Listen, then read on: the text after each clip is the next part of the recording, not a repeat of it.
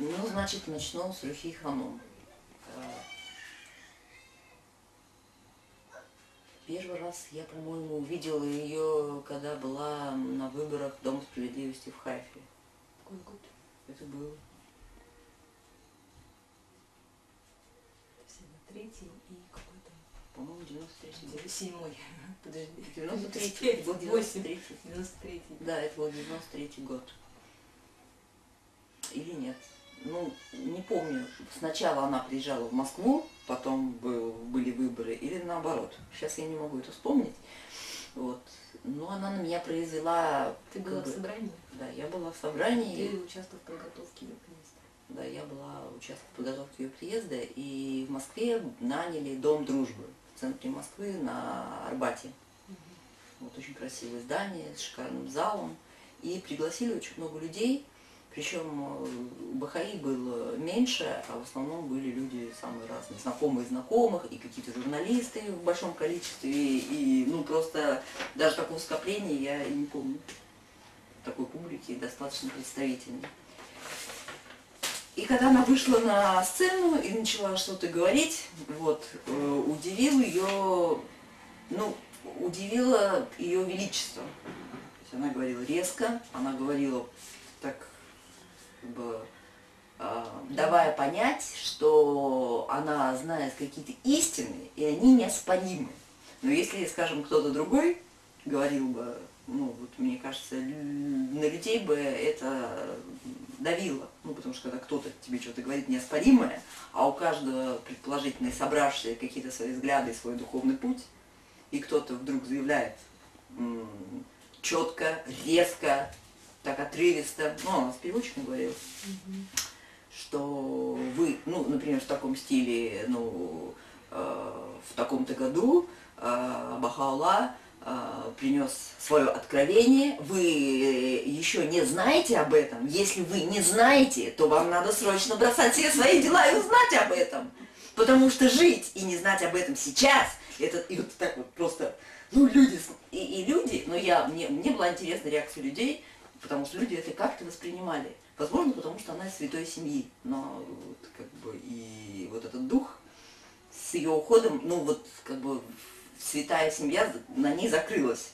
Она последняя. Ну, она не прямой потомок, но тем не менее жена Шоги Фенди. И вот она неоспоримые вещи говорила, они казались очень убедительными. Вот. А потом ее просто спросили, э, что она заканчивала. После всего того, что она наговорила, она говорила очень много, и она сказала, «У- меня образование маленькое, я детский сад. Только детский сад. Это, Это, смотрела это была, да, это была неправда, вот, потому что она там ну, получила образование, и как бы у нее очень развитый человек во всех отношениях, но она это ответила таким тоном, что больше вопросов не последовало. Ну, ей показалось обидным, почему по- после того, что она сказала, кого-то заинтересовало ее образование. Что дело было совсем не в образовании, а в образовании души, которое откликается или не откликается на то, что Бог являет настоящее время. Вот, ну, кто-то вот заткнулся сразу. Короче, больше вопросов не возникло. И вот, и вот эта атмосфера, вот этого величества духа, такого неоспоримого царила на этой встрече. Я такого больше никогда не видела. Ну, были разные вопросы, что-то люди задавали, но она с таким достоинством отвечала, показывая такую широту и величество и неоспоримость этой религии, что люди, мне кажется, в этот момент, по крайней мере, были убеждены. Не знаю, что было дальше. Но, по крайней мере, Олесина сестра, она и не была Бахаи, и сейчас она не Бахаи, вообще далека от религии.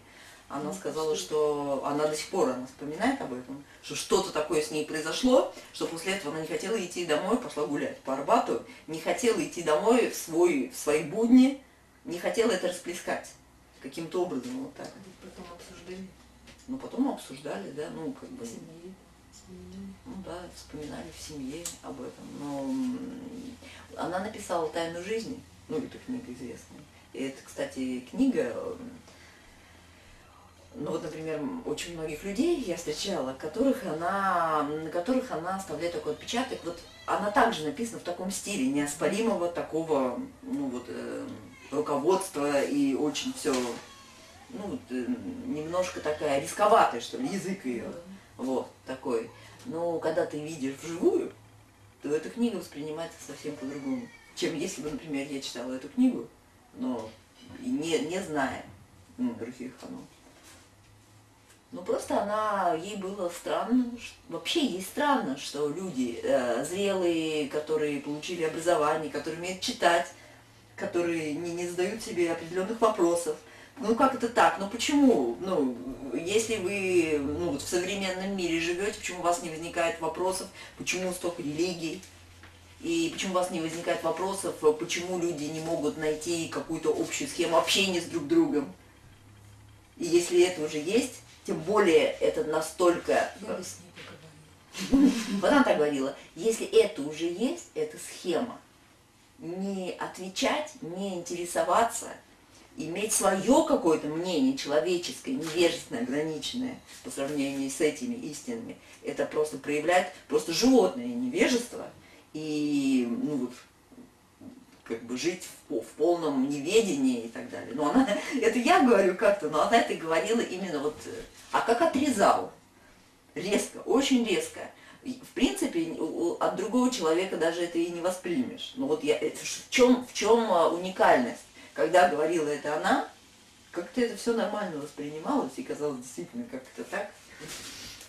Вот, а, но это что касается ее, это мое какое-то от, от- от нее чувство. А что касается Олег Баров Рутана, то я помню такой момент, его привез Марк.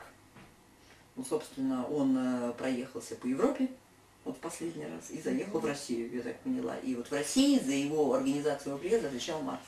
Ну и в Москве нужно было организовать ряд встреч с друзьями, и он предложил организовать встречу с Рутаном в моей квартире.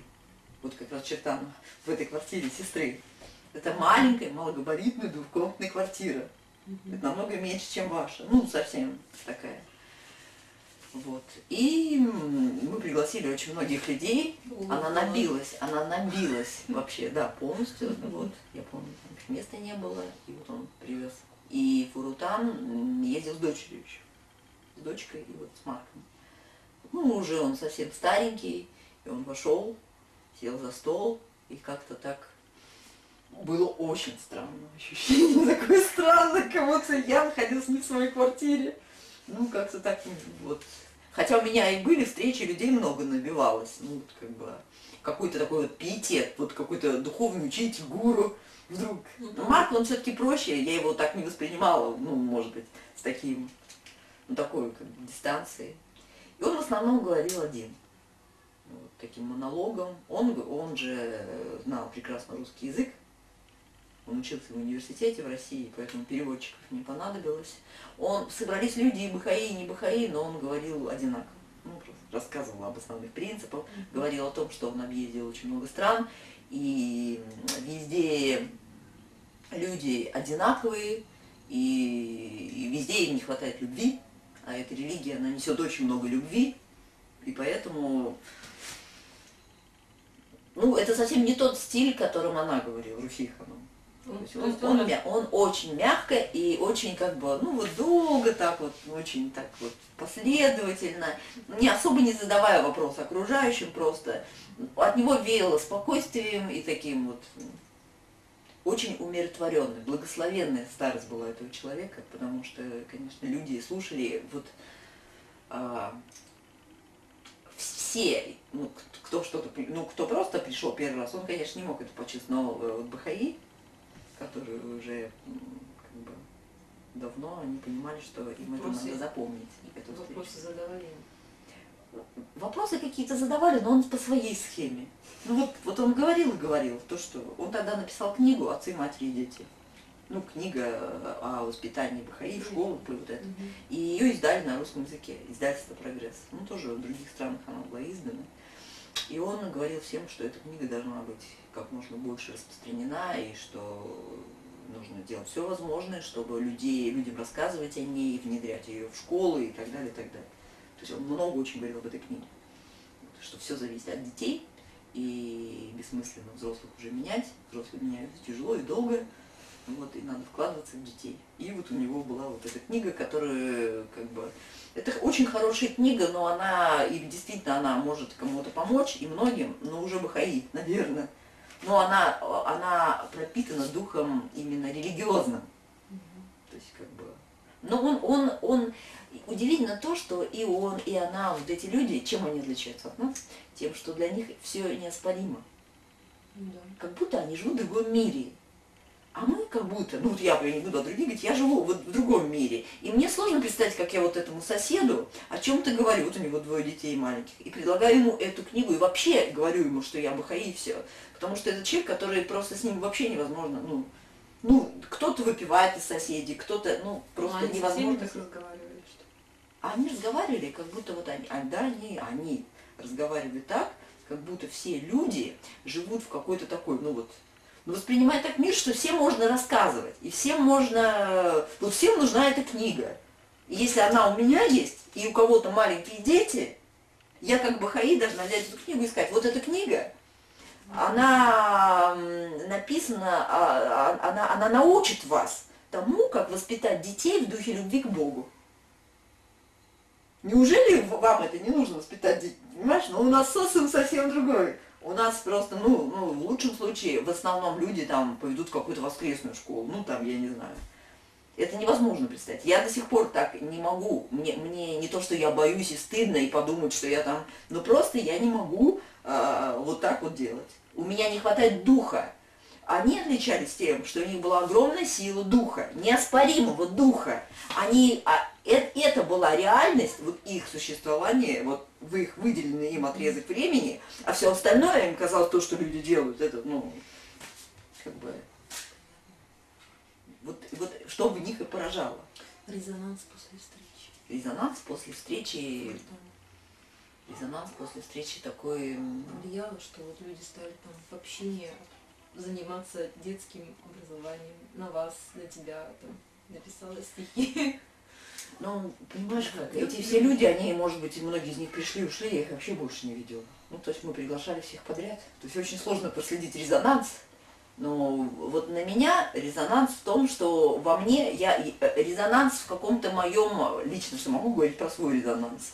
Когда я рядом с такими людьми, и даже рядом с Марком, то я всегда чувствую, насколько я, насколько у меня слабый дух что я не могу э, жить в этом духе и быть счастливой. Ну вот как бы и, и, и, и, и с радостью, не боясь делиться с окружающими людьми этим. То есть всегда как-то так, ну, ну почему-то я не знаю, это надо именно его иметь, это не вырастешь искусственно. Ну, я не знаю, если его нет. Просто они, они были руки дела Бога, они как-то жили в какой-то, ну, шо- они встречали Шоги и Фенди, они жили, их молодость прошла в тот момент, когда э, мир не знал о вере, и надо было а, отделить в понимании людей, что это, что это не секта ислама, а отдельная религия. На них была возложена огромная миссия. И они жили и горели в этой миссии каждый день своей жизни. И они так сформировались. Ну, то есть время-то уже прошло, и люди уже тоже изменились. Но они как бы вот и так и продолжали жить, как, ну, вот, как жили в молодости. Ну, вот всегда люди уже в возрасте, они с, э, трудом воспринимают меняющийся мир. Но вот их мир, это была вот эта вот огромная сила духа, вот этого какого-то задания внутреннего, по которому они жили, и они были абсолютно счастливы. Они и тот, и другой, ну вот и Фурутан, и Рухи и Ханум, они вообще не жили на одном месте. Они ехали из страны в страну. Если что-то было, ну, то есть они просто, ну, настолько они горели, что просто удивительно. Я, я таких людей, ну, конечно, может быть, есть вот сейчас в современном мире бахаи, такие бахаи, но мне кажется, мало и так гореть, как они. Просто жили, видишь, они очень долго, и мне кажется, и у того, и у другого, и у всех из них, там еще доктор Варга, он тоже дожил до старого возраста, была благословенная старость. Вот, например, Фурутан, он же был очень старенький, уже когда он не мог ездить, уже прошли годы. И вот он жил в Хайфе со своей семьей, и каждый вечер он, его приводили в дом паломников. Он садился в центре, И вокруг него садились эти паломники из разных стран, разные люди, разного возраста. И он видел, как вот он всю жизнь ездил, а, вот, горел, и какие-то плоды уже при жизни, вот в старости, он увидел, как идут эти люди, как они его слушают, как они ему задают вопрос, как они с ним фотографируются. Ну, то есть его же все просто вот так воспринимали, как вот, ну, и поэтому он очень долго прожил вот в таком. Но мне кажется, это такая награда вообще. И умер он. Ты знаешь, как он умер? Он умер очень интересно.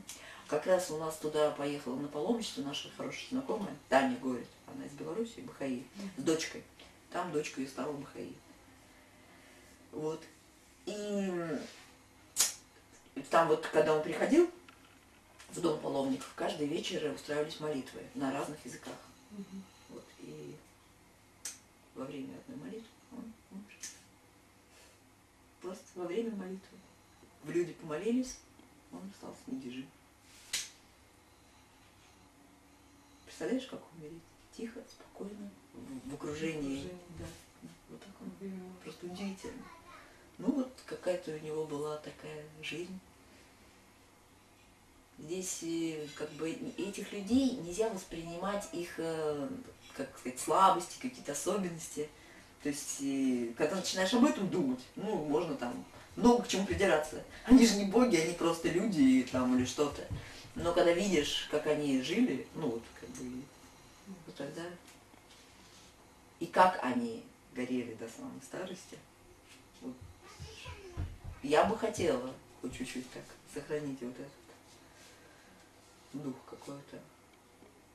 То есть это удивительно. Ну вот, собственно, об этом все. О Руфи Ханом и Рутане. Хорошо рассказала.